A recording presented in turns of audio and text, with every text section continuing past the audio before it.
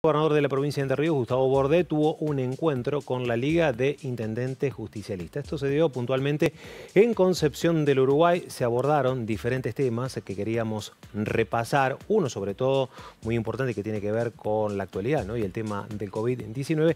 Así que vamos a saludar al actual intendente de San Salvador y presidente de la Liga de Intendentes Justicialistas, que es Lucas Larrarte. Larrarte, ¿cómo le va? ¿Qué dice? Gracias por atendernos. ¿Cómo le va?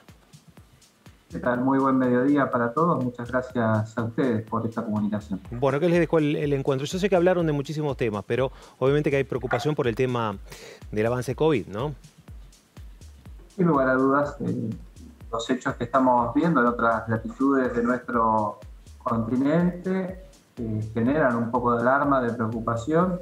Esto que estuvo pasando en Brasil en los últimos días, en Chile, ahora en el Uruguay, que acaba de suspender en muchos departamentos del país este, las clases generan un poquito de alarma.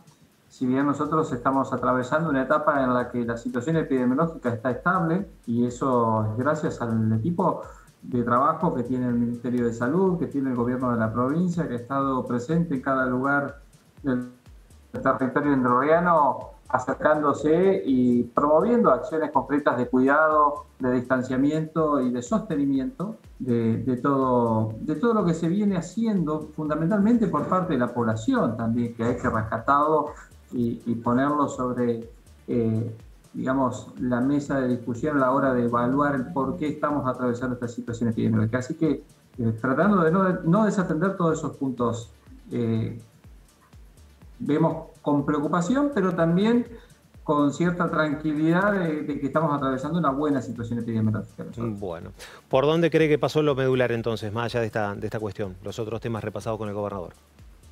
Eh, fundamentalmente por la posibilidad de mantener un encuentro, un encuentro en el que participaron los intendentes, las intendentas, los ministros de las distintas carteras y también el gobernador y la vice.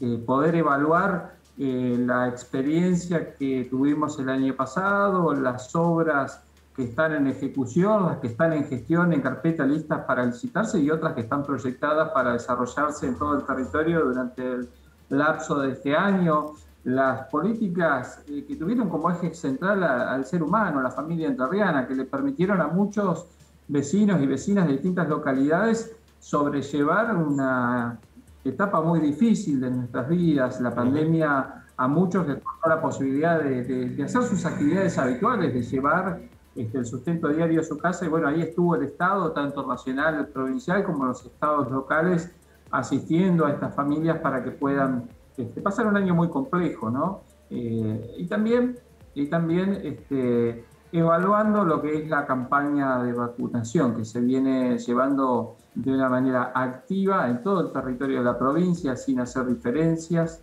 y nosotros estamos muy contentos con esto. Cuanto más podamos avanzar en esta campaña de vacunación, más lejos vamos a estar de los efectos que pueda tener, los efectos negativos que pueda tener una segunda ola de, coronavirus. Bueno, puntualmente ahí en San Salvador, ¿cómo, ¿cómo están con el tema de vacunación? Aprovechamos y le preguntamos. Bien, se ha trabajado intensamente, se han vacunado distintos grupos, eh, primero los mayores de 80, después algunos mayores de 70, se ha empezado con el sector docente, sobre todo los este, eh, docentes especiales, decimos nosotros, que eh, han sido, digamos, artífices de la vuelta a clases. De alguna manera, el hecho de tener a nuestros niños y niñas en las escuelas es muy importante y tenemos que hacer todo lo posible para que ello continúe. Eh, y trabajar a la campaña de vacunación y ofrecer este, a los docentes la vacuna es muy importante. Está bien. Lara ¿se hace una proyección de cuánto tiempo quizás, porque esta es la, pregunta que me imagino le harán muchos, ¿no? En su, en su ciudad también, ¿no? ¿Cuánto tiempo va a demandar el tema de la vacunación, ¿no?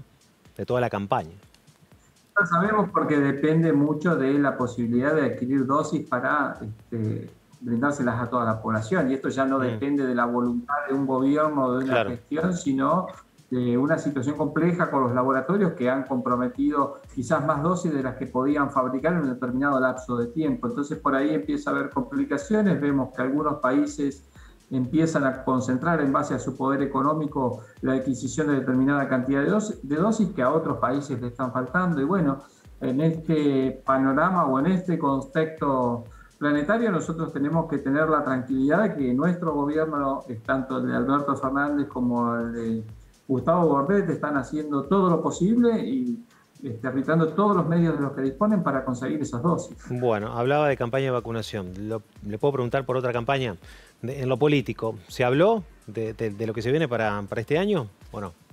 Sí, sí, este, no es un tema que domine la agenda de quienes estamos encargados de la gestión, pero es una realidad que hace a nuestra actividad. Nuestra actividad es la política, es un año electoral, indefectiblemente ya ha empezado a mostrarse cuál es el calendario y nosotros tenemos que empezar a, a conversar sobre las actividades que vamos a desarrollar y en qué marco las podemos desarrollar para ofrecer a, los entrerrianos y entrerrianos los mejores candidatos, una propuesta que apueste al desarrollo de este proyecto. Muy bien.